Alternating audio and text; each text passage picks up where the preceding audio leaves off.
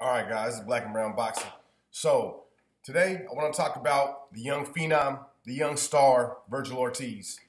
All right, um, I've given a lot of a lot of uh, credit and a lot of uh, time to uh, the 135 the 135ers. I love them dudes. You guys know about that. Shakur Stevenson, Devin Haney, um, um, Ryan Garcia, Teofimo. I love them dudes. You guys know that I love them.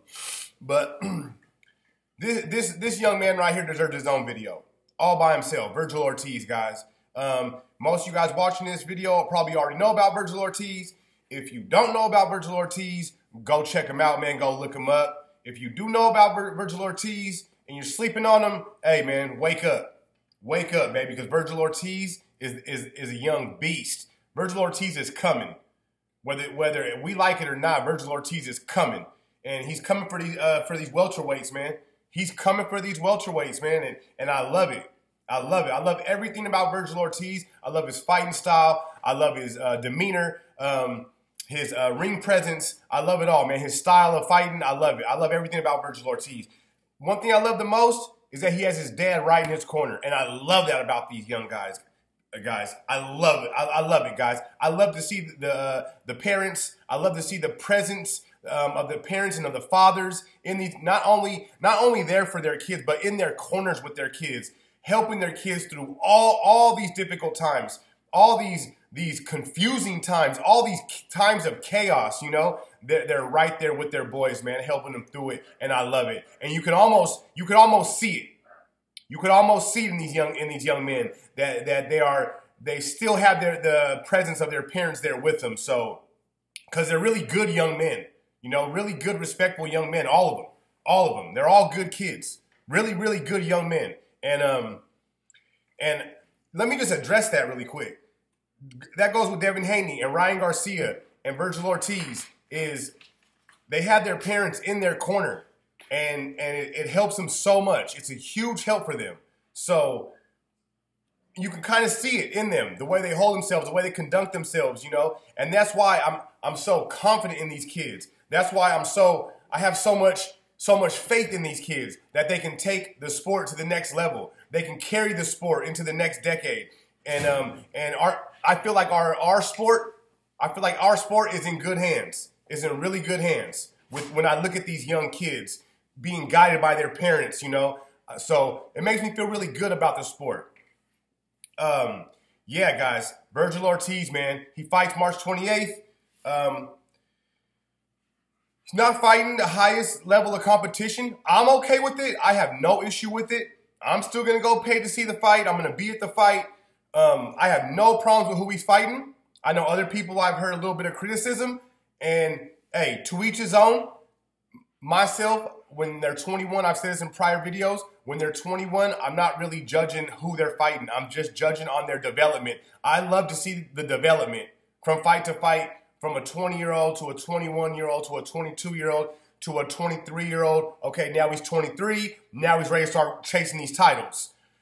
Um, when they're 21, 22, uh, I, I'm still just watching them develop. So I'm not. I don't really care too much about who they fight. But hey, I understand the guys that want to see more, that want to want to see him fight better competition. Because I'm the same way. I, once I love a fighter, I want to see more. I'm not satisfied. I want more. I want more. So I understand I just look at it from a different perspective of appreciating uh, the baby that we're looking at, appreciating the fact that we're le- being able to watch them fight at such a young age. Because in the past, we've never had nothing like this in the past.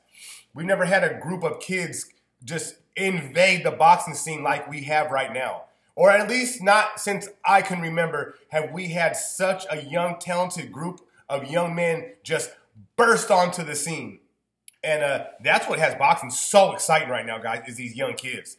Is these young kids. Because these older guys, you guys notice, these older guys, all of them, they're all ducking each other and they're all taking the easy roads and it seems like they're all just milking the game. That's a whole different video. We're not going to get into that. To stay on Vergil Ortiz, he fights March 28th. Um, on the undercard, Rashidi Ellis is on the undercard, and I love it.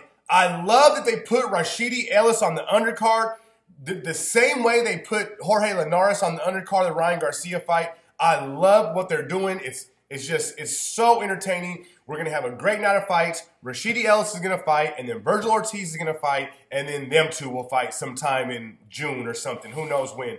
But the lead up is so exciting. Um, I can't wait to be there, guys. I can't wait to see this this this whole night. I just can't wait. I can't freaking wait, man. So, um, yeah, guys. And real quick, on the way out, man, bold, bold predictions right now on this computer screen with, with Vergil Ortiz. Vergil Ortiz is my guy. Okay, guys? Devin Haney is my guy. I'm predicting right now, Vergil Ortiz will be better than Canelo Alvarez one day. When Vergil Ortiz is 30 years old, Vergil Ortiz will be better and further along in his career than Canelo Alvarez. And that's huge to say because Canelo Alvarez has gotten pretty damn far in his career. But that's how much faith I have in Vergil Ortiz. I'm, I'm going to say the same thing about Devin Haney. Devin Haney will be bigger and better in his career when he's 30 than Errol Spence and, and Terrence Crawford than they are right now. And, and when he is 30, they'll be long gone, or they should be. And if he's if they're not, he will take them out. Same with Vergil Ortiz. Vergil Ortiz will take them out before they're done. Or they will move on and they'll never they'll never face Vergil Ortiz. One of the two. But Vergil Ortiz will take out Errol Spence. Will take out Terrence Crawford one day. I don't know when, but he will take them out. Either he'll replace them because they'll move on, or he will take them out in the ring if they ever put them in the ring. But the way the times are lining up, them guys will be older, and Vergil Ortiz will be 25, 26, and they will, they will never get in the ring with Vergil Ortiz. With a 26 year old Vergil Ortiz, it will never happen. So either way, Vergil Ortiz is going to replace them, and Devin Haney is going to replace them one day, and they will both be better than the, the, the three best middle welterweights we have right now. Is Canelo Alvarez, we have Vergil, we have um, uh, Errol Spence, and we have Terrence Crawford. Okay, two best uh, uh, uh, welterweights, best middleweight in that area. Those are the biggest names we got in boxing. Devin Haney will surpass those names. Uh, Vergil Ortiz will surpass those names. So that's my bold prediction at the end of this video. All the marbles, I'm betting the house on Vergil Ortiz. Guys, if you don't know about Vergil Ortiz, go check him out. He fights March 28th, guys. March 28th in Anaheim. Uh, no, not Anaheim. Sorry, guys. In Inglewood. He fights in Inglewood, March 28th.